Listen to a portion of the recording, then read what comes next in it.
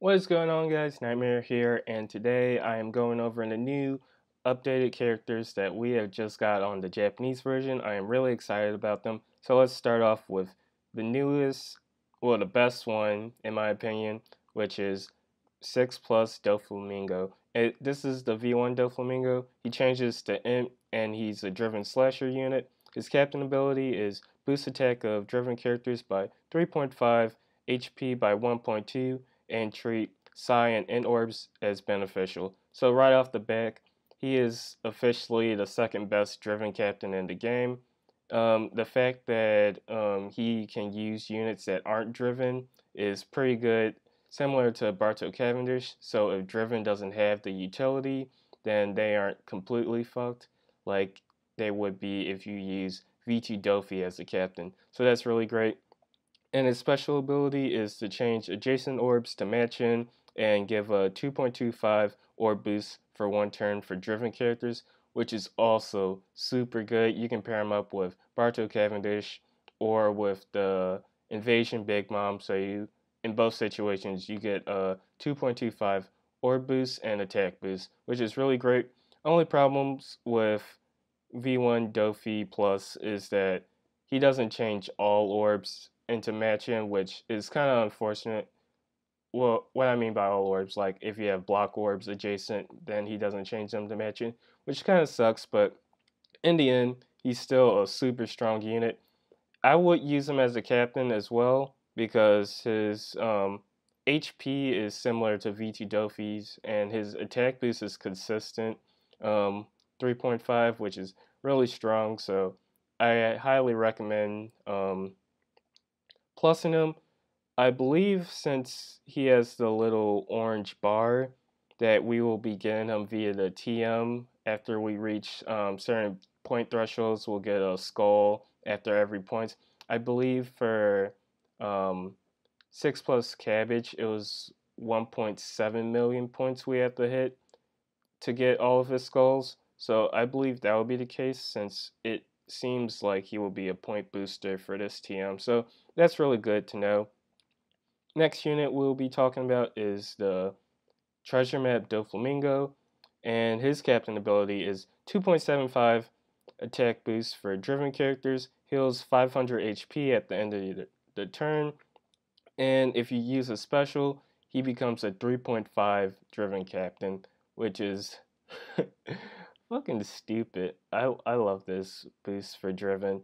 Um, so basically, I just want to let you guys know before um, his cotton candies are HP and attack since his um, heal per turn is fixed. So just for the newer players to know, it's HP attack.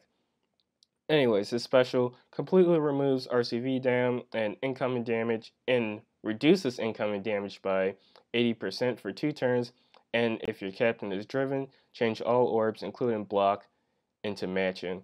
So really good special overall, and his RCV down might be beneficial to use in the current GARP challenge on stage 8.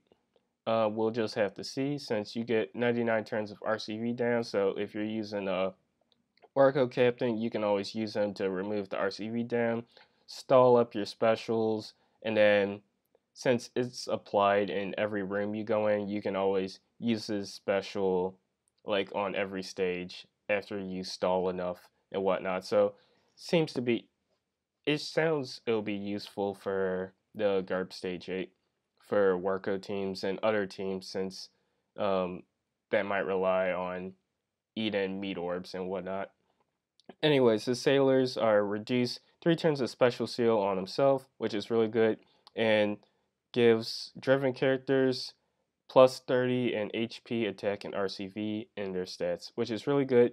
And their support is um, 8% of his um, stats in HP, attack, and RCV to support characters Trebol, Pica, and Diamante. So overall, both of these Doflamingos are really great, and I highly um, recommend you to farm them.